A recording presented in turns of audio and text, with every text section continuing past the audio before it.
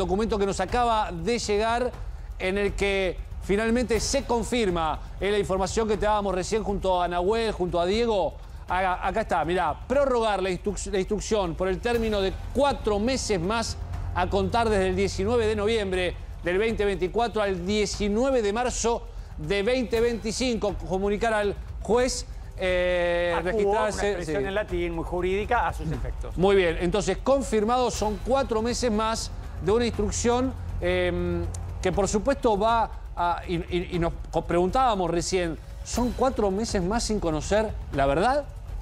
¿Eh? Porque la verdad que cuatro meses más es como mucho. Uno supone que es todo lo contrario, que justamente extienden este plazo ¿eh?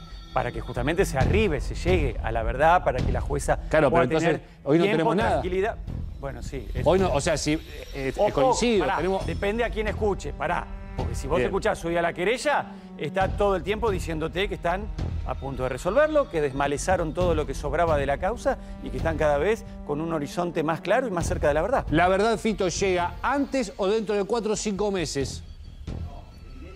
Casi cinco meses, porque es desde noviembre. Y estamos a 24 de octubre. De octubre, por eso. De acá hasta adelante son cinco meses más. por eso el videógrafo estaba bien ahí. Eh, primera regla. Segunda cuestión. Eh, puede pasar en cualquier momento que se sepa la verdad. Mm. Puede ser hoy, antes de esa prórroga, en enero, en la feria, en febrero. Hay dos cuestiones que yo les quiero plantear para que ustedes piensen y, y debatimos. Sí. La jueza está esperando que se quiebre alguno de los cinco imputados, entonces la cárcel y el tiempo... De los siete.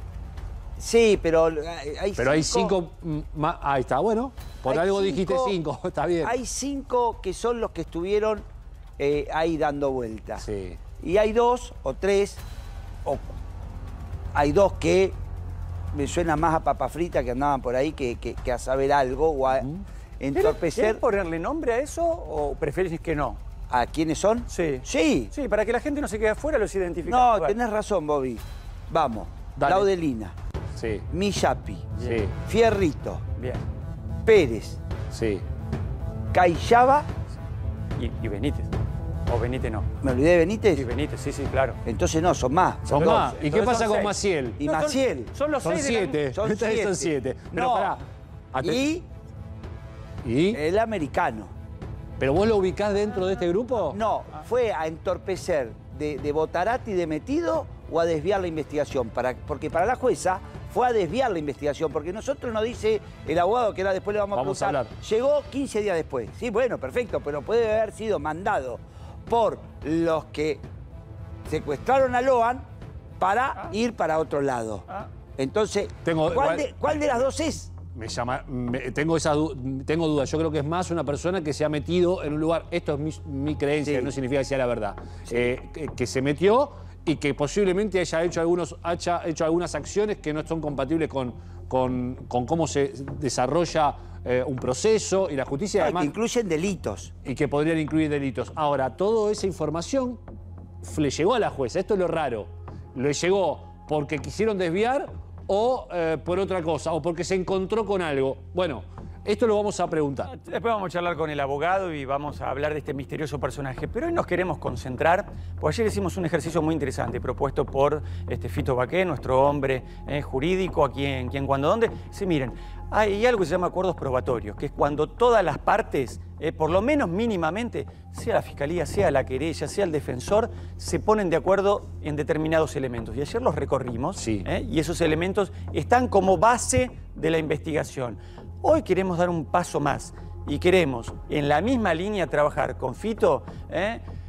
cuáles son las teorías que todavía son vigentes y posibles, de mayor a menor incluso. Sí. Porque las cuatro están abiertas, las cuatro son probables, pero por la que vamos a arrancar creo que es la de la querella. Tal cual. Por eso las teorías del caso de nuestra carátula. Eh, vamos a ir brindándote información eh, urgente durante los próximos minutos que nos está llegando porque Recordemos, está pendiente la posible detención de dos personas más.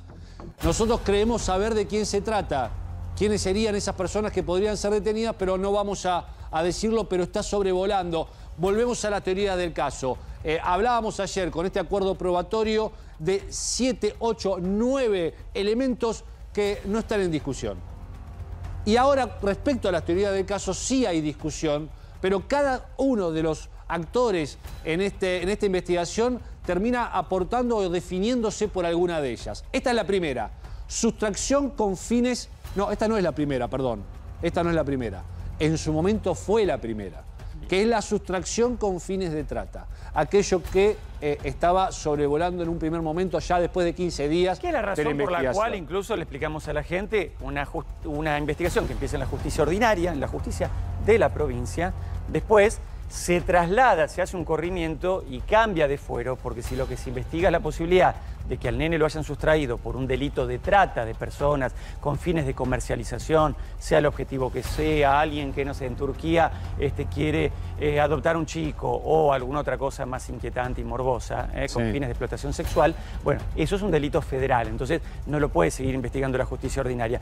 Ese, eh, esa hipótesis de trabajo básicamente fue la que explicó que hoy sea una jueza federal, la jueza Poserpenso, la que lleve adelante la investigación y no la justicia ordinaria. Hipótesis burlando, podríamos Por ejemplo. Le vamos a poner nombre para ir. Gustavo Vera, ¿no? Tantos que bueno, públicamente el, propio, el propio americano del que hablas, que supuestamente estaba relacionado con alguna fundación que rescataba chicos de la trata de personas. Pero tiene razón en algo, Fito. Que tenga participación en la causa, en una de las partes involucradas, y vaya si no es importante la querella, eh, burlando, burlando con los padres de Loan. Claro, el propio Gustavo Vera también eh, hablaba de esto y quien no quiere saber nada con esta hipótesis, por supuesto, es el gobierno de Corrientes. No ha querido saber nada eh, porque está desconoce o por lo menos dice que no sucede lo que muchos dicen que sí sucede con la cuestión de lo piensan el tráfico de personas. También acá lo ha sostenido muchas veces Fito y ahora quiero escucharlo, eh, porque básicamente a ver, es incómodo para un gobierno decir, reconocer que en su provincia eh, no lo tiene bajo control, que hay gente de ese nivel de mafia, eh, con organizaciones criminales, que se dedican a sustraer a un chico, sacarlo del país, vencer los límites federales de una provincia, eh, comercializarlo. Digamos, no es cómodo para que nadie la, la, quiera reconocer. Ahí estoy con el gobierno. Bien. Ahí estoy. A ver, amplia. Yo creo que el gobierno entorpeció la investigación con Codazzi, eh, el senador, pero no aparecieron 100 chicos en lugares aledaños. Lo dije el primer día, a la primera marcha, le dije, va a ver que mañana no hay, porque yo hablo, tengo amigos en Curuzú y en la zona, y me decían, Fito, acá esto, en esta zona este no. Por, lo menos este formato que es el del rapto, porque otras cosas sí. Pero el del rapto, pero el del estamos hablando de este formato, no hubo ningún caso, y yo creo que ante la cuestión de, eh, de lo que pasó con el clan Sena y eh, Cecilia claro. en Chaco, donde nos instalamos los medios, y eso yo creo que fue causal de que terminaba perdiendo Capitanich la gobernación, alguien, algún papa frita le dijo al gobernador, tengo otra hipótesis. Y abramos el juzgado, la fiscalía, a las 11 de la noche, y ahí apareció otra hipótesis. Bien, esa es la otra teoría del caso que vamos a continuar entonces, que es la de un accidente seguido de muerte. E, esa es la otra teoría del caso que eh, termina aportando laudelina a instancias del abogado José Codazzi, que estuvo aquí con nosotros y que nos decía esto, fíjate, de esta manera. Si uno como persona de bien, ante un posible accidente, lo primero que hace es, va corriendo a los padres y dice, disculpa, tuve un accidente, tuvimos este problema, no lo vi, y ahí se queda todo, es un homicidio culposo, en su caso no hay detención, en su caso no pasa nada. Pero la respuesta fue llegando de que esta persona estaba alcoholizada. Pérez. sí. Entonces, ante un eventual juicio, si se quiere, de responsabilidad, el seguro no le va a cubrir. Y hoy por hoy estamos hablando de entre 50 y 70 millones de pesos. ¿Y todo eso lo pensaron así de no, no, no, no, no. Yo te estoy hablando después con el día de diario, después que es Analizando la situación. Analizando y repasando y repasando en la mente que uno va viendo. ¿Pero qué es lo que te dice la Laudelina? Segundo, sí, te termino. La acompañante era la candidata a intendente más potable de 9 de julio. Estaba haciendo su trayectoria y era como la próxima intendente apuesta. Entonces, ante un eventual accidente de que habían chocado a un chico, ¿quién le va a votar el 9 de julio? Entonces, estamos en esa situación de que toman la decisión ellos de querer si se quiere, ocultar ese accidente, que ella sí recibió instrucciones bajo amenaza, y ahí es donde yo, hablando con ella, ella me dice que necesitaba contárselo a alguien, pero que no quería hacerlo, y eso es lo que habíamos hablado en conjunto, ni en 9 de julio, ni en Goya. ¿Ella decide eso? Ella lo que decidió es que no quería tener el agobio de los medios periodísticos y que ella se sentía que en cualquier momento la iban a linchar eh, públicamente de que les iban a, amenazaban de prenderle fuego a la casa y estaba en ese momento estaba quebrada anímicamente. Ella sentía muchísimo la presión de que los GRAS en cada momento decían inminente detención la van a detener entonces estaba en, eh, como acorralada si se quiere eh, decían los medios la guionó le dio yo estaba sentado casi un metro y medio atrás de ella ni Jorge Luis Borges hizo un cuento tan espectacular y tan detallado en cuanto a datos a ver, el argumento parece realmente verosímil. Sí, al mismo tiempo, ahora que lo escucho, no sé si es un fallido que dijo, ni Jorge Luis Borges hizo un cuento tan detallado. Como este. Entonces era un cuento. Claro. Entonces era un cuento. Entonces, por eso, el argumento es interesante, pero ¿qué pasa con este argumento? Primero, supuestamente lo cuenta Laudelina, y Laudelina después dice que eso que dijo es mentira y que fue Codazzi quien se lo hizo decir. Segundo, no aparece el cuerpo ni rastros de un accidente. Ese es el, problema de esta teoría del caso, bueno, pero, con un argumento bastante verosímil, hay que decir. Porque en algún momento, que tuvo más fuerza que en otros esta teoría, eh, estaba la cuestión de que aparecieron ahí algunas manchas que podían ser compatibles eh, con un este, atropellamiento. Eh, después eso se cayó, pero en un momento aparecieron. También está la cuestión de lo que olieron los perros. Entonces eso también le dio volumen y credibilidad a los que abonan esta teoría para decir, che, no hay explicación en esta teoría, salvo un cambio de auto en otro momento, pero ¿cómo los perros marcan los autos de Pérez y Cayaba? Que además son los únicos que salen al momento de desaparecer el nene. Entonces, había elementos que podían sostener esto. ¿eh? Fito. A ver, las teorías del caso en lo troncal siempre son buenas. Mm. El problema son los bordes cuando vos tenés que hacer coincidir el borde de tu relato. Y por ejemplo, te voy a decir un borde. Si fuera cierto, manejaba uno de los dos. Con lo cual, hubiese, se hubiese hecho cargo el que no era el candidato a intendente o la vicecandidata con mayor Bien. popularidad. Sí, manejaba Carlos Pérez. Por eso, entonces, claro hubiese dicho, manejaba Pérez, se hacía cargo Pérez, lo lapidaban a Pérez, o al primer día que estuvieron presos, vienen y dicen, vienen y dicen, pará, fue un accidente. ¿Te reboto? ¿Te reboto? ¿Y qué pasa si sos la candidata, se hace cargo él, pero sos la candidata del marido que atropelló a un nene y lo mató? ¿Y a Perpetua? Bobby. Ah, bueno. Y del otro, lado, del otro lado tenés tu carrera política por un lado y por el otro lado tenés perpetua. Esta es la falencia de, esta hipótesis. Por eso estamos en contacto también con Tito González, que es el abogado de Pérez y Cayaba. Hace tiempo que no hablas, Tito. Gracias por este contacto. Nos detenemos en este punto. Tenemos más para seguir compartiendo con ustedes en el accidente seguido de muerte. Vamos por la segunda. Hay más son dos más. Pero este impacta directamente, en la suerte y en el destino de Pérez y Cayaba. Por eso hablamos con Tito González. Tito, ¿cómo estás? Buenas tardes.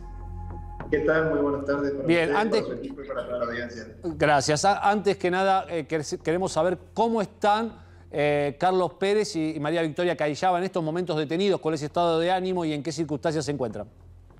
Y con esta noticia que bueno me toca darles hoy de la prórroga de la instrucción, van a estar en un estado anímico peor en el que tenían previamente. Mm. Eh, últimamente, Carlos particularmente viene bajando de peso por la situación de estrés, de nervio y de angustia, obviamente, por este contexto de encierro al cual no está acostumbrado y hemos solicitado tratamiento médico para las revisiones. Bajó casi 15 kilos aproximadamente. Eh, sí, bajó bastante. Eh, es una persona que nunca estuvo privada de su libertad, nunca tuvo ningún problema con la justicia y el estar en esta situación de encierro, el que no se sepa todavía su situación procesal y que ahora se extienda desconmensuradamente, eh, bueno, a cualquiera lo angustiaría, lo pondría en un estado de absoluta depresión. ¿Y cómo es la situación?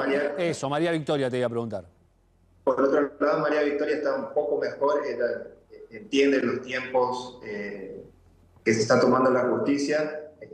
aclaro que ambos, uno de los dos en verdad, sabe que se va a prorrogar, ahora yo le tengo que comunicar, pero entienden que, que se está extendiendo en razón de la complejidad y porque en la investigación todavía no hay algo objetivo y concreto que permita direccionar para un solo lado toda la investigación. Decime, Tito, y y ya ahora abro a mis compañeros, ¿cómo es la celda en la que están cada uno de ellos? ¿Están compartiéndola con alguien? ¿Es una celda eh, única? Eh, eh, ¿Cuál es el metraje del Son- lugar? cal- Calculo que son penales distintos, pero sí, Sí. tienen comunicación, ¿no?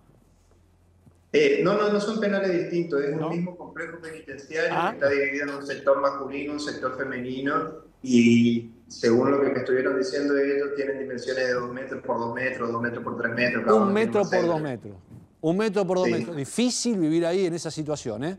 Hay que estar detenido, sobre todo si crees y sentís y decís que sos inocente.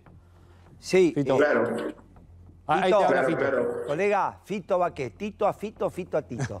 colega, ¿Qué tal, Tito? Buenas tardes. bien, buenas tardes. A ver, yo a mí me gusta ir un poquito al hueso para ir pre- para preguntarte cuestiones de la causa. Eh, Perfecto. Decime de los del rastro o la huella de olor de los perros. ¿Qué tienen para decir tus clientes respecto a eso? Y es algo que todavía, como yo lo dije, es muy sospechoso en cuanto a cómo se dio. Si bien eh, muchos consideran algo llamativo la actitud que tuvieron Carlos y María Victoria al ir y llevar a la policía los vehículos para que estén a salvo, eh, no se torna tan raro o ilusorio esta cuestión cuando empiezan a surgir evidencias como conversaciones entre los policías donde eh, manifiestan que están preparando o armando un rompecabezas o apuntando, direccionando la investigación contra una u otra persona. Ahora, Te eh, paro ahí, te paro ahí. ¿Quién les que fue- dice? de que fue alterada, o sea, que fue modificado. Tito, pero de- ¿quién les Sí. dice? Te paro ahí para que la gente entienda, porque dicen, llevamos los autos porque tenés miedo que nos armen. Eh, ¿Quién iba a armar? Tema uno, ¿y quién les dice a ellos? Son las dos preguntas ahí para, para en- entender. Bueno, es por una cuestión de, de reserva, voy a hablar en, en términos generales sin identificar o individualizar personas por cuestión de respeto a la investigación, pero eh, en notas periodísticas ciertas personas apuntaron directamente contra ellos di- diciendo que ellos fueron los que se llevaron a Logan y que habían lavado los vehículos, que habían realizado determinadas cosas, es decir, eh, lavado los vehículos o modificado algún tipo de evidencia para que no quede ningún tipo de rastro y que, eh, bueno, esa persona justamente eh, tenía vínculos o tiene vínculos con, con el narcotráfico. Bueno, eh, es una cuestión que ya lo, lo había hablado, ya lo había tratado en su momento y, y no es que surge eh, de nadie más que no sea de ellos por esta, este direccionamiento de las personas de, de la localidad hacia ellos. Es decir, No es decir, Tito. alguien en particular, sino que fueron varias personas que dijeron Sí. sí, ellos fueron, pero sin ningún tipo de evidencia concreta. Bien, o sea, Tito, vos lo que nos está diciendo que para Pérez y Caillaba acá hay una pista narco que en este momento aparentemente no se está siguiendo, eh, pero que estaría vinculado a su tarea como informante de la policía en materia de narcotráfico. Esto es lo que vos decís y que por eso le habrían eh, plantado eh, algún tipo de elementos que los podrían perjudicar. Sí, sí, sí, me mantengo todavía en esa posición. Bien. Ahí te hago una pregunta. Dale, dale, hacé Fito y después voy, dale. A ver, cuando sobre mi lomo hay una condena, una posible condena de perpetua, Sí. yo digo, canto más que Gardel. Digo, mirá, me lo dijo tal, tal lo dijo, lo dijo tal, porque en realidad está diciendo algo que alguien eh, eh, te dijo. Eh, me parece que ahí eh, tienen noción tus clientes de que la posibilidad de una cadena perpetua, sean culpables o sean in- inocentes, eh, camina sobre la espalda de ellos? Están, eh, sí, sí, están al tanto, tienen noción de esto porque ya desde un inicio les expliqué que la situación procesal podría ir variando a una situación más beneficiosa o también le planteé el peor de los panoramas, dejarse la posibilidad de una, de una perpetua. Eh, fui 100% objetivo con ello y sincero y transparente, obviamente. Las posibilidades existen, porque si estamos todavía a más de cuatro meses sin estar seguros, eh, sin tener un procesamiento todavía, cualquier cosa puede surgir. La verdad- Y plantear esta posibilidad, obviamente, es algo que me Sa- corresponde desde un inicio. ¿Sabés que estoy pe- pensando? Son nueve meses, un parto es esta causa. Sí, sí, sí, sí. Van a ser nueve meses, es un verdadero parto, imagino, para las personas que se sienten inocentes. Y atención con esto de la pista narco y el vínculo posible con el americano que vamos a preguntarte en un ratito. Dale. Doctor, si le pasamos en limpio a la gente y le tenemos que explicar por qué los que están detenidos están detenidos, bueno, hay un subgrupo que no puede explicar por qué se perdió, desapareció el nene, habiéndolo acompañado como adultos a una excursión al Naranjal. ¿eh? Esos son un grupo. Y sus defendidos, si uno tuviera que decir, che, bueno, pero en esa excursión no estuvieron. No hay ninguno de los adultos, ni ninguno de los chicos que diga, eh, Pérez y Cayaba se pararon y fueron hasta allá. Entonces, ¿qué es lo que los compromete? Los compromete dos cuestiones. Una, que básicamente cuando se toma noticia de que el nene desaparece, son los primeros en retirarse de ese almuerzo, casi de manera coincidente, con un vehículo en el cual la justicia puede sospechar que tal vez fue parte de la maniobra de la extracción. Y lo otro que los compromete es que los perros marcan esa camioneta y marcan el otro vehículo del matrimonio, como si hubiera habido en algún momento un cambio de un auto al otro, pasándolo al nene y después llevándolo a algún lugar. Esto es básicamente lo que compromete a Pérez y a Cayaba. ¿Ustedes nunca tuvieron por ahí la intención de objetar la pericia de, de los perritos? ¿No tienen una pericia de parte? ¿No tienen argumentos científicos? ¿O no es la etapa para hacerlo? No, eso se está trabajando, se está preparando. Es una tarea muy exhausti- exhaustiva y tiene que ser muy fina. Eh, no quiero tener ningún tipo de error, no, no quiero tener margen para el error, para hacer una presentación prolija y coherente y bueno, que dé la nulidad de esta experiencia particularmente. Eh, No es algo sencillo, obviamente, en primer lugar porque no soy perito y en un segundo lugar porque me estoy cuestionando, estamos en verdad, estaríamos cuestionando la labor de Mario Rosillo, que es el padre de la odontología acá en Argentina. Es Claro. decir, eh, de los peritos el mejor. Es muy difícil poder cuestionarle a alguien tan eh, idóneo para su trabajo. Excelente. Eh, Ernesto Tito González, abogado de Pérez y Cayaba, muchas ¿Le gracias puedo por el un contacto. pedido? Se lo hago público. Uno más, dale. Se lo hago al aire. eh, porque me preocupó la situación del estado de salud Sí. de Pérez. Si, si él quiere acceder a eso, si nos quiere mandar una foto, un registro gráfico que testimonie los 15 kilos que perdió este, estando privado de, la libertad. eh, porque también la gente este, puede estar presa, pero hay que mantenerle sus derechos. Hace poco también hubo una situación de salud con Benítez, hubo que trasladarlo a un hospital público, estaba orinando sangre. Si, si él quiere, y usted durante el programa nos quiere mandar la foto, eh, porque me sorprende lo que nos dijo del estado en el que está. eh. Le, dejo eso como inquietud, doctor. Muy bien, muy bien. Gracias. Gracias, Ernesto. Eh, bueno, sigamos, sigamos. Ahí eh, Ernesto nos comentaba, hay algo más interesante también con esto, eh, Fito, es que justamente la pista narco que plantea Pérez y Cayaba sí es coincidente y temporal con lo que planteaba el americano, por lo menos con las pruebas que le habría llevado a la jueza Poser-Penso. Y ahí nos preguntamos, y se lo han preguntado muchos, si este personaje tiene que ver de alguna manera con limpiarle la cancha a Pérez y a Cayaba. Es la, lo- parte de las, de las conversaciones y discusiones que hay, Fito, ¿o no? Lo que me deja pensando es por qué alguien va a ir a, a encanar a dos personas tan poderosas cuando podía echarle la culpa a Laudelina, a Miyapi, a gente de menores recursos y menores poder. Solamente un loco va y le planta prueba a Pérez y a Cayaba respecto al olor, cuando era más fácil ir para otro lado. Salvo que quieran sacar del juego a Pérez o a Cayaba por alguna otra razón. Que es lo que están diciendo ellos que sucedió y no estamos diciendo que esto sea la verdad. ¿eh? No, no, estamos Es lo que dicen, lo que dicen Pérez y Cayaba es, eh, dice, yo soy informante de la Policía eh, Federal, a mí me metieron preso para sacarme del juego. ¿Y quién me sacó del juego? Una organización narco que opera en la zona.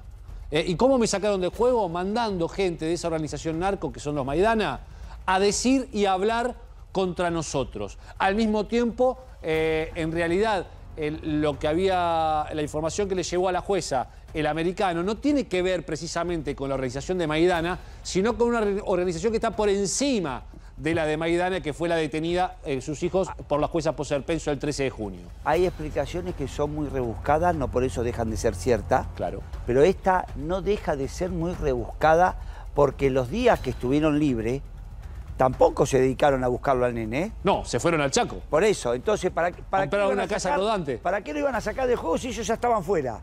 Ellos solos se salieron. Te lo digo como para pensarlo. Por supuesto, y para que pensemos todos los que estamos siguiendo bien de cerca esto. Vamos a la tercera teoría del caso. que es la que no queremos, que es la que no queremos, pero la tenemos que evaluar también. Porque, a ver, siempre dijimos que marca la estadística de desaparición de personas y sobre todo de No, pero criaturas de menores de edad. No es esta. ¿eh? Esta es la última. Eh, Pasemos no, bueno, a la pero- anterior. Pero si querés trabajamos. O, o no, bajamos con esta. Como dale, vamos, trabajemos con esta, dale. Eh, porque, a ver, ahí puede haber siempre un entramado familiar o incluso de cara a esta puede ser alguna organización mínima, eh, precaria, precaria, que se citó ahí para tal fin, porque a muchos les llama la, la atención, che, qué heterogéneo y ecléctico, qué gente tan distinta ante sí está en este lugar.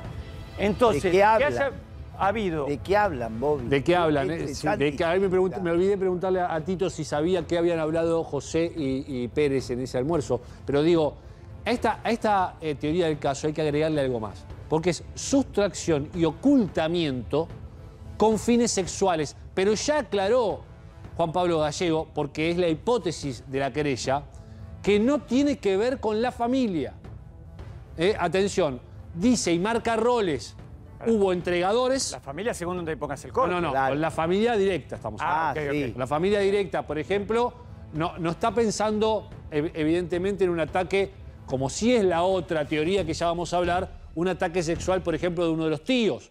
No se está hablando de esto, se está hablando de una sustracción y ocultamiento. Es decir, me llevo a un chico, lo escondo y después hay una situación sexual con el chico. Se comercializa. Yo... O, o no necesariamente. No necesariamente. O no necesariamente. no, porque puede haber sido el mismo Benítez o habérselo entregado a Pérez y a Caichaba. Exactamente. Bueno, por ahí va, por ahí va, porque dice Yo- no la familia, no hermanos, no, No, yo- no Benítez, no la, o sea, la Laudelina pudo no, haber, no, Benítez. la ubican en un rol, la ubican en un rol, pero no en la cuestión del fin, del fin sexual. Y esto es la teoría de la querella, Fito. Bueno, de la nueva querella. De la nueva, de la nueva, Habíamos de la- de la dicho de lo de ahora. Que, la, que la anterior querella con Burlando era trata. Sí. Yo desde el primer día, me podrá salir bien o mal, eh, es, es una intuición, eh, es, charla. Esta siempre fue mi hipótesis, lo van. Después si sale mal. que la tuya me es parece que la tuya es la que viene, eh. La que viene después, que es una agresión sexual. eh, ah, vos decís una agresión. Ah, acá estamos hablando de un- Acá, acá es una, una sustracción, un Exacto. ocultamiento, y ahí acordate lo que pasó a las 2 y 40 de la mañana. Claro.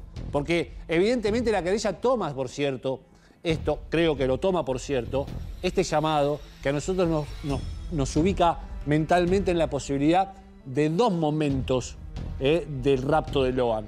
El primer momento en el Naranjal o veniendo del Naranjal y el segundo momento cuando supuestamente aparece y después dicen que no. ¿eh? Entonces, ese es el punto eh, que creo yo tiene Vamos a eh, como punta de lanza la querella. Cortito para diferenciarla de la otra, que que después vamos a avanzar. Esta es como si con un grado de organización mínima, el que fuera, se pusieron de acuerdo previamente o en el momento, el, el objetivo era otro, apareció Loan y fue Loan porque era el más chiquito, pero es gente, eh, y esto es lo que piensa la querella actual, eh, y por ende tal vez la familia, a Loan se generaron las condiciones para alejarlo del padre, para sacarlo del ámbito donde tenía el tutor y el adulto encargado de cuidarlo, lo sacaron, inventaron la excusa de ir a buscar naranjas a donde no las había, teniendo un arbolito de mandarina que no es muy distinto que una naranja detrás de la casa, de donde sí sacaron y comieron ahí en ese almuerzo. Entonces lo alejan, lo llevan, hay un grupo de adultos que se complotan para esto, espontáneamente o con un nivel mínimo de organización, lo alejan, cuando lo consiguen alejar, ahí hacen que alguien que hoy no está en este grupo lo retire, lo sustraiga y avisan que el trabajo ya está hecho. Y los que quedaron allá Sí. entreteniendo, ¿eh? por ahí a la abuela, pero sobre todo al papá, para que esto ocurra mientras él está distraído en la sobremesa, justo coincide que un matrimonio se va de ahí, parte y se va con un vehículo, y luego ese vehículo es el que, oh casualidad, los perritos huelen eh, que allí estuvo el nene. Esto sería con fines últimos, probablemente de explotación de algún tipo, de O, explotación o de sexual. ataque sexual. O de ataque sexual. O de a ver, ataque sexual. A ver, eh, quiero decirte que con esta hipótesis o esta teoría del caso que maneja la querella y que dice estar cerca de, de poder eh, dejar al descubierto, eh, el propio Juan Pablo Gallego establece roles y él plantea, hubo algunas personas que entregaron, otras personas que se lo llevaron y otras personas que vieron todo y no hicieron nada. Por lo, tal, por lo cual incluye prácticamente a todos los que estaban en ese almuerzo. Bueno, ahí Incluso vamos a a Macarena y a, y a Camila. Vamos a ponerle nombre. Dale, por favor. Que quien lo entregó, Benítez. que quien vio y no hizo nada, Millapi y Fierrito. Que quien también sabía, Macarena, Y Camila, Camila y Laudelina. sí. Así es lo que Eso es lo que se- ¿Sabés lo que nos falta? ¿Y quién se lo llevó? Ellos los parecen tenerlo claro, ¿eh? Pérez y Callaba. Bueno, O por lo menos es lo que ellos aparentemente ¿sabés quién están nos pensando. falta? Sí, Maciel. sí. Maciel, ¿por qué no esclarece el hecho ese- esa noche, cuando los tiene ahí, con cuatro sopapotes, como digo yo, que te agarran, te agarran ahí y estás todo asustado y te haces cargo aunque no fueras, Pablo? Te pegan cuatro cachetadas así, ¿eh? Y ya te haces cargo de la, mirá muerte que- de, Gar- de la muerte de Gardel. Pero, pero de mirá- verdad te lo mirá digo, que ¿eh? todos dijeron, incluso el propio Pérez, que les pegaron un par de cachetazos a todos. Ramírez O- dice Hablaron que de bolsa pegaron, submarino Pero hablaron de bolsa en Pérez, la cabeza. ¿Cuándo dice?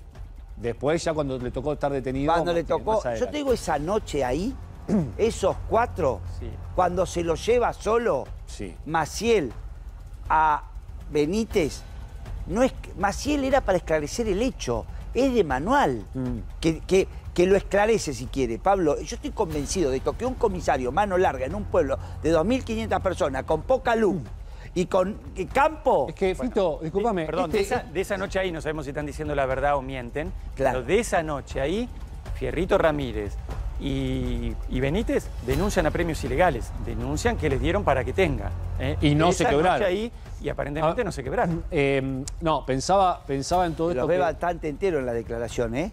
Que hacen, ¿eh? No se los Sí. ve cuando eh, tenemos la declaración donde... Sí, lo vimos. Pero si fuera parte, a ver, pero Sí. sigo el ejercicio de Dale. Tito. ¿Vos crees que Maciel está dentro o afuera de esta teoría que es la de la querella? ¿eh? Él encubre porque tiene otras razones para encubrir Claro. o también es parte de la No. sustracción. Encubre, Maciel encubre porque tiene que encubrir a los autores del hecho. Maciel sabe quiénes son, sabe que entregó Benítez y lo tiene que encubrir porque habrá Y- sido, y se equivoca porque, perdón. habrá sido parcero para Entiendo. robar un- una vaca, lo, lo tenía Benítez de cuatrero. O sea, un cómplice. eh, un y cómplice tenían en un otro delito, otro- previo. Tenía un delito Siempre que los dijiste. hermanaba. Siempre dijiste Por esto. eso no lo esclarece, Pablo. Bien. Esto es de manual. Y a la vez, cuando vos ves y escuchás lo que plantea Maciel, o por lo menos lo que hizo públicamente frente a la justicia, otra vez en diferentes chats con sus eh, subalternos, incluso una de las primas de Loan o, de las tías segunda de Loan, que es una, una señora que es policía llamada Noguera, lo que se plantea es la otra teoría del caso, que vos, Fito, te escuchamos también pensar en algo de esto, y digo ya, perdido por perdido, empiezo a empujar esta teoría, que es el ataque sexual intrafamiliar seguido de muerte. Esta es la teoría de se van al Naranjal, lo agarró Benítez, atacó sexu- sexualmente a Chiquito, lo escondió momentáneamente y luego eh, despistó y distrajo a todo el resto para después hacerlo desaparecer. Esa es la teoría, la cuarta. Yo no sé, Fito, si vos eh, coincidías con esto. Yo en algún momento entendí que coincidías con alguna situación similar. Yo eh, llego, Benítez, el nene y una cuestión sexual. Si es solo Benítez o se lo entrega a Pérez, a Cayaba o a otra persona, pero ronda ahí lo sexual. Bien. No está ni en la frontera, ni en una organización no es de una- un hecho de trata. exportación. No, no, es algo ahí del pueblo. Bien.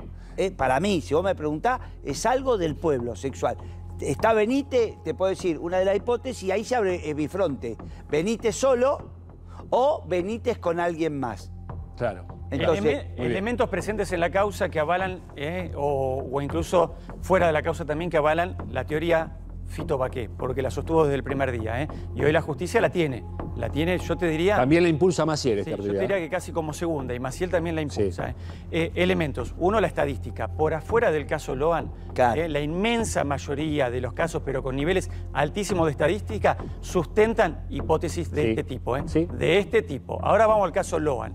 Eh, Benítez, bueno, la famosa prueba cuarenta y pico, de la que ya hace mucho tiempo que no hablamos, fotografías tomadas a Benítez, eh, incluso de sus genitales, también tienen que ver por antipis- antipa- antipático que resulte o doloroso que resulte estar hablando de eso, eh, tiene que ver con esta cuestión. ¿eh? Sí, Y, y a la- después, y sí. después una más te esbozo, ¿eh? Si él no des- consigue, después de un ataque, en el que además está obligado a darle muerte a la víctima, que es lo que suele pasar en estos casos, y no consigue en el momento ¿eh? ocultar el cuerpo de la víctima en un espejo de agua, y acá hay un elemento de todos los que están ahí, incluso de los que van al Naranjal, el que conoce el territorio es él, ¿eh? el que conoce el ter- porque ni siquiera Ramírez ni Millapi conocen, saliendo de la casa de la abuela Catalina, no conocen el terreno. Benítez lo conoce, sabe dónde hay una laguna, sabe dónde hay algún lugar para ocultar momentáneamente un cuerpo. eh, y si eventualmente después la maniobra perpetrada de o la plantar tapera, el botín, Bobby. de O la tapera. Bueno, pero y también- ahí vamos a las 2 de la Bien, mañana. Y si la maniobra de plantarle después el botín es, muchachos, vayan todos para allá, así yo mientras tanto, bueno, no él, alguien en nombre de él, porque a las alturas ya está detenido, consigue ocultar definitivamente el cuerpo en otro lado, bueno, todo arma esta teoría. ¿eh? complicado, dale, Fito. es que hay hechos que son objetivos. Esto que desapareció, que estaban los que estaban cerca. Y ahí vamos al botín. Sí. El botín, si es una organización eh, internacional, no planta ninguna prueba porque nadie se iba a creer. Se fueron y nos vemos en Brasil y de ahí pasamos a la, a la frontera con Venezuela o nos tomamos un avión y nos vamos a, a Estambul, como decían algunos. No pierden el tiempo en llevar un botín, por eso es de cabotaje. El botín. Pero es alguien Sí. que agarró el botín, se lo sacó del piecito a Loan y lo llevó y lo puso ahí. Entonces no ¿Está es descartado completamente, Fito, que el nene haya podido caminar por ahí, Siempre. acompañado incluso? 100% descartado si vos me preguntás a Bueno, mí. porque vos sabés, Fito, Sí. perdona, y, y a ver si coincidís, vos sabés que el tema del botín, la aparición del botín, fue uno de los, de, de- de los infladores de la teoría narco. ¿Por qué? Porque dicen que los narcos cuando atacan o cuando se vengan de alguna situación, dejan un mensaje. Y que el botín es el mensaje. Y recordemos que apareció una avioneta eh, también en la Sí. ruta 12, muy cerca de donde trabajaba uno de los hermanos. Pero Pablo, Sí. dejan un mensaje. ¿Para quién? Para Laudelina, para, para, para. Le, le dan el mensaje en persona. O sea, vos le dejás un mensaje a una avioneta si quería al gobernador, no sé a quién. Pero no le vas a dejar una avioneta para, para darle un mensaje a Laudelina Creo que no. o a Benítez. No, no, me- Creo que no. Son narcos, pero no tarados. Creo Ya que le no. sobrará la plata, pero tampoco la van a regalar. Entonces, dejar eso fue para plantar y por eso fue Laudelina directo. No nos olvidemos todas las declaraciones que fue directo ahí Laudelina. Fue teledirigida. Si yo tomo lo que vos decís, Pablo, eh, el botín cobra un valor, ¿no? Si alguien quiere dar un mensaje. ¿Por qué? Porque el botín, si uno lo toma en sentido literal, es un botín. El nene pasa a ser un botín Claro. de una guerra o de alguien que quiere dar un mensaje desde el narcotráfico, si fuera este el caso, ¿no? Para los que gozan esta teoría. Y la otra, que sea una zapatillita, ¿no? Con todo lo que tiene de imagen metafórica, simbólica, el mito de los puntos de venta de droga que son señalizados con una zapatilla colgada en un cable de determinada manera. Bueno, algunos hasta también lo vinculaban con eso, el botín, la zapatilla. En el mundo narco representa algo y un mensaje te estoy queriendo dar, además de tirarte Te eventualmente. digo algo, una- Bobby, ahí sí. cortito. Eh, lo que quisieron es dar la teoría de que se había eh, perdido el nene Sí. y que se perdió caminando. Caminando y para ese lado. Eh, eh, y para, para ese, ese lado. lado. o sea, por eso te digo que es, de- dijeran lo- lo, en latín, los mentecaptus, ¿está? De, de- de poco raciocinio intelectual la maniobra. De poco raciocinio. Iba el nene para, caminando para allá, apareció el botín, busquémoslo, se perdió. Además pusieron pasitos al Y lado. pasitos, por eso te estoy diciendo Pero que los perros no detectaron huellas ahí en los pasitos. ¿eh? Yo coincido en algo con Fito, ¿no? Esbocé los dos elementos porque... Ya era hora, Bobby. No, ya no, era hora. bueno, ta- tarde, pero un día llegó. Escúchame, no, ¿por qué? Porque, yendo a esto, ¿no? Un ataque sexual intrafamiliar, o sea, que alguien que de muerte, ese ¿no? día ahí lo atacó y le dio muerte, eh, situación que podemos, pero enumerar si me pongo a, hablar de casos en los que es un crimen causa, porque vos cometés un delito, si el ataque sexual es ahí, matás para ocultar, porque además, sobre todo, también si la víctima habla y te conoce. ¿no? De Mancheri a cambiando latitudes y lugares en el mundo, puedo dar un montón de, de ejemplos. Y yo siempre también me inclinaba más por esta combinada con la otra, con la de la querella, pero sobre todo por esta. También por una cuestión, Pablo, que es tiene una organización precaria o una desorganización la dinámica del hecho que a mí nunca me resultó que acá hubiera una gran banda transnacional que se valiera de estos, y voy a utilizar, mira, hasta lo voy a citar a, a Fito Baqué, a estos mequetrefe para terminar poniendo un chico vendido en euros en Estambul, en Sí, Rusia o en donde fuera. Igual siempre esa hipótesis no estaba relacionado directamente que es una banda internacional que opera de esa manera, sino que sería una banda vernácula que después, una vez que tiene al nene, podría negociar con otra bien, banda. bien, ¿eh? Porque es lo que suele Pero pasar. y bueno, es como los secuestrados. Claro, se van pasando por pasa- pero, pero no importa, pero sos parte Sí, de sos una parte, banda. sos parte de- una célula, pero que sos parte de una banda. Acá no de, aparece de todo por esto, ningún lado, de por todo lo menos. esto, yo te quiero decir, lo que sigue eh, dejan- sosteniendo, aunque todavía aparentemente en la justicia no, pero lo que sigue sosteniendo la hipótesis de la trata es que el cuerpo no aparece Bueno. y que fue toda la tecnología que tiene el país a barrer todo ese lugar durante mucho tiempo. Y mi amiga Me- fue. Sí, fue hasta buscar entre, Patricia, a buscar entre la, la Patricia, panza de los fuiste a buscarlo. Pero, Ah, una cosa, bien, pero pará, también pero está- yo lo vi, a- a- el dron. Sí. Vi los equipos que eh, te buscan bajo tierra con ra- una suerte de radiografía que le hacen a la tierra. Buscaron en el cementerio, buscaron en la casa de Pérez y Cayaba. Hemos visto todo ese ¿Te procedimiento puedo dar otra y no lo han encontrado. ¿Te puedo dar otra Dale. hipótesis? Se subió al auto de Pérez y Cayaba y se fueron Más lejos. más lejos. Y ahí no lo encontraron. Eh, Ahí no lo encontrás, porque esa, esa, esta hipótesis tiene asidero en las pruebas del expediente. Sí. Las huellas de olor, ellos yéndose, gallina desde los hermanos Karamazov, que sabiéndose culpable grita su inocencia, diciendo, mirá que a ver si me plantan eh, eh, eh, algo en el auto. Esto de, che, vos me- somos del pueblo, vos me decís, ojo Fito, que me decís Pablo, ojo Fito que te quieren meter preso. Yo cuando voy digo, mire, Ponzone me dijo, porque eh, Ponzone me dijo que me querían meter preso. Esto es decir, yo no digo los nombres de los que me dijeron. O sea, es una hipótesis, por eso te digo que ahí es dos cabezas. Sí.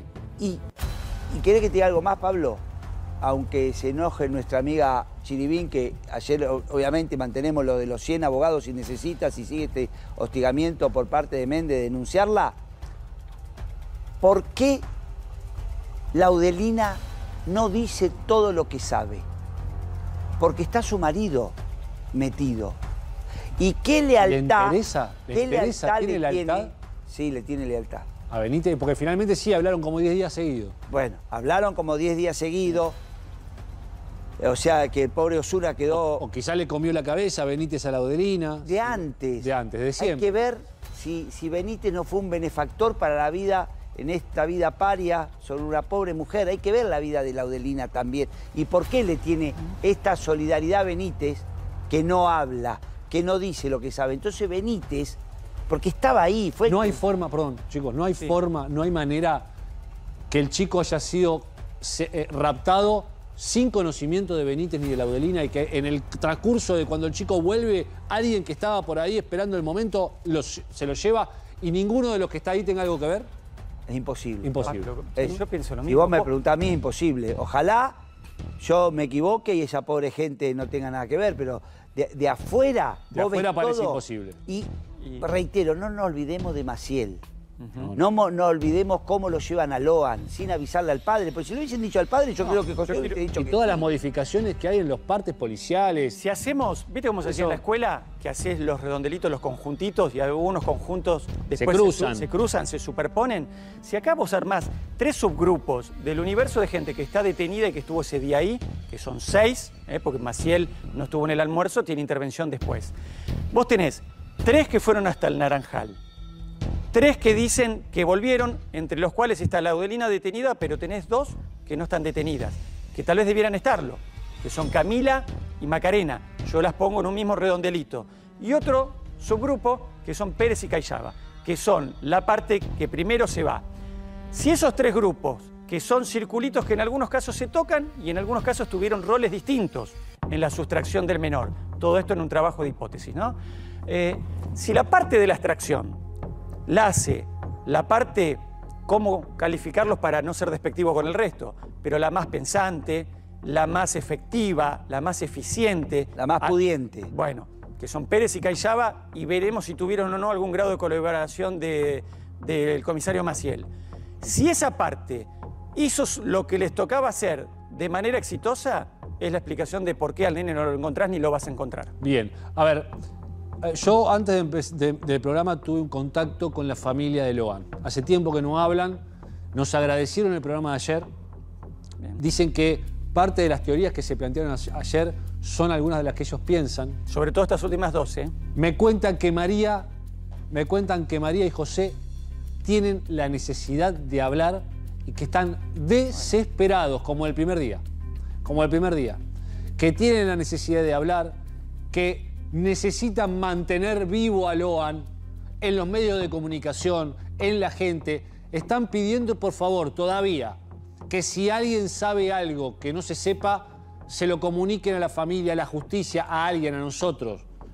Me, me lo acaban de decir, pero en la semana que viene, Fito, hay una reunión clave entre la familia y los abogados de la querella.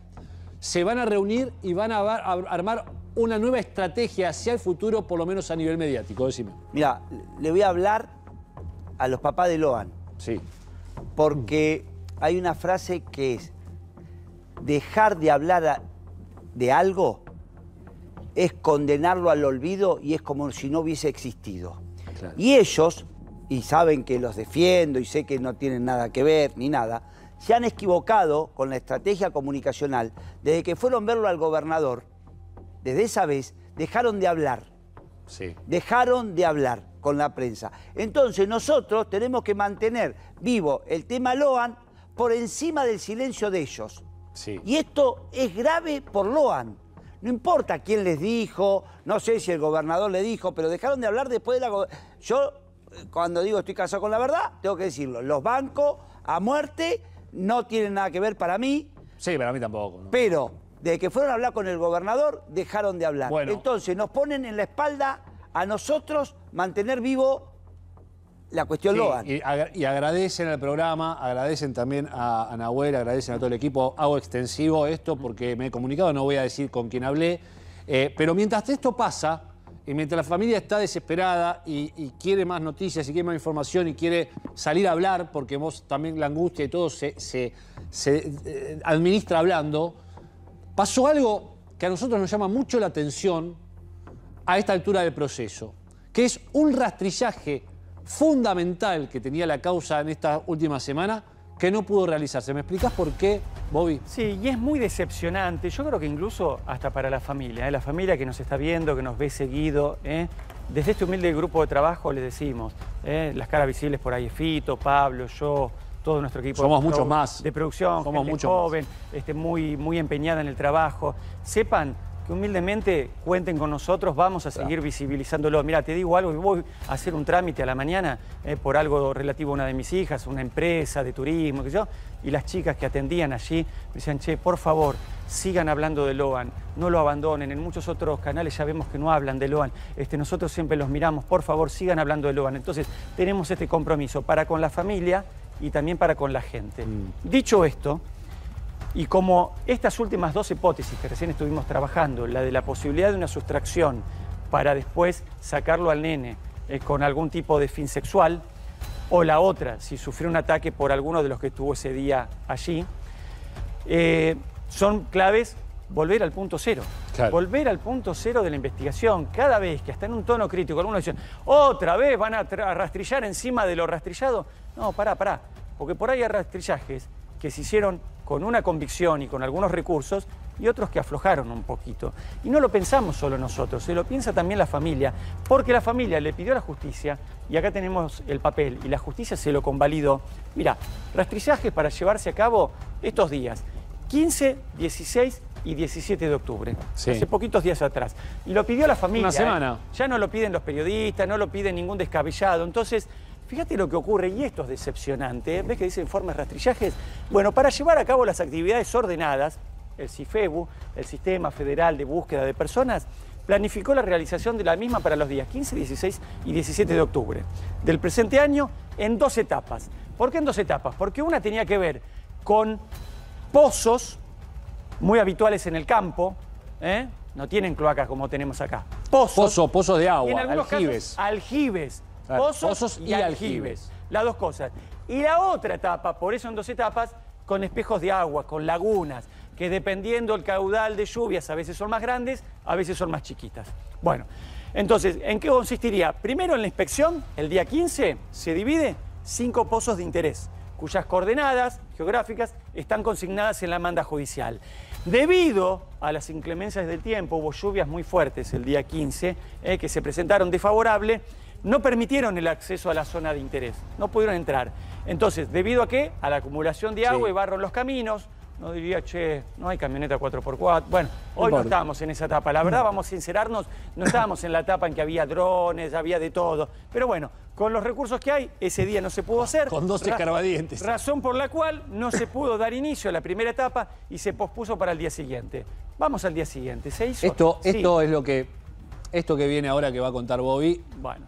Llama la atención y, eh, creo que la familia tiene que saber esto, ¿no? El día 16, a las 8 de la mañana, personal interviniente y medios se constituyeron en cada uno de los objetivos. Son pozos, son pozos de aljibes, son pozos este, de los que se hacen. Bueno, y realizaron luego del vaciamiento mediante la utilización de bombas de extracción. Es decir, cada uno de estos aljibes o pozos que se hacen eh, para buscar agua se extrajo con bombas, con grupos electrógenos, se los prendió, las bombas los vaciaron de agua y se los inspeccionaron. La inspección manual que fue realizada por personal de buzos de la Prefectura Nacional Argentina y el bombero especialista en ingresos a lugares confinados, son lugares muy chiquitos. O sea, se el- tuvieron que meter adentro del pozo. el, el personal tiene que ser personal muy este, hábil en este tipo de actividades y a veces hasta incluso menudos, ¿eh? de, de- de- de físicos muy chiquitos para Sí. poder este, realizarlo. Bueno, el comandante Romagnoli Sí, del cuartel y- de bomberos. Y, y eh, la- que me adelante, Sí, porque soy medio ansioso, Dale. pero veo que dice,